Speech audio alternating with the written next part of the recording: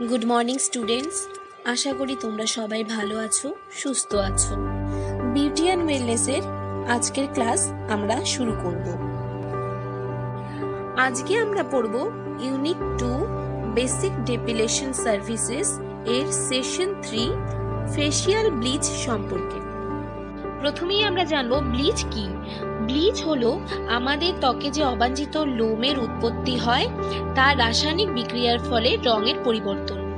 ব্লিচের প্রধান উপাদান হলো হাইড্রোজেন পারঅক্সাইড এই হাইড্রোজেন পারঅক্সাইডের কাজ হলো ফেসিয়াল হেয়ার কালারের পরিবর্তন, অর্থাৎ হেয়ারের নর্মাল কালারকে হালকা বা লাইট গোল্ডেন করা।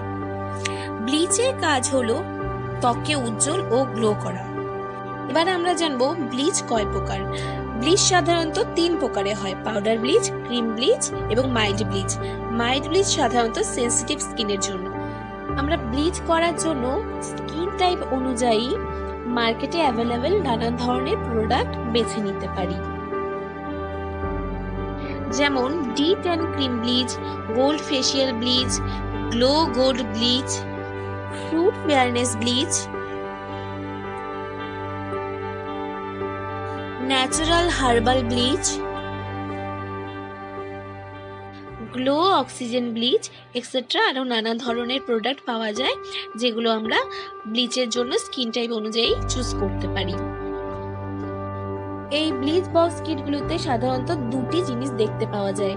Bleaching cream activated powder with spatula এবার আমরা জানব ব্লিচ কি করে তৈরি করব এবং কীভাবে অ্যাপ্লাই করব। ব্লিচ বক্স কিটের ইনস্ট্রাকশন অনুযায়ী আমরা ব্লিচ তৈরি করব।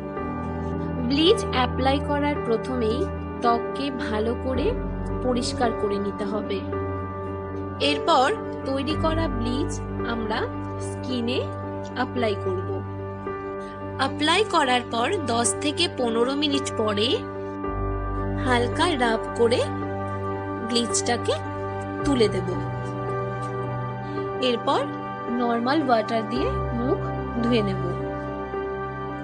এবার আমরা জানব ব্লিচের বেনিফিট ব্লিচের ফলে ত্বক ব্রাইটার হয় ইনস্ট্যান্টলি দশ মিনিটের মধ্যে অবাঞ্ছিত লোম লাইট গোল্ডেনে পরিণত হয়। ফেসিয়াল থ্রেডিং করতে যে ব্যথা অনুভব হয় ব্লিচ করলে তা থেকে মুক্তি পাওয়া যায়। এবং পিগমেন্টেশনকে হালকা করে। তো আজকের ক্লাস আমরা এখানেই শেষ করছি। আশা করি তোমরা সবাই বুঝতে পেরেছ। কিছু প্রবলেম থাকলে আমাকে জানাবে।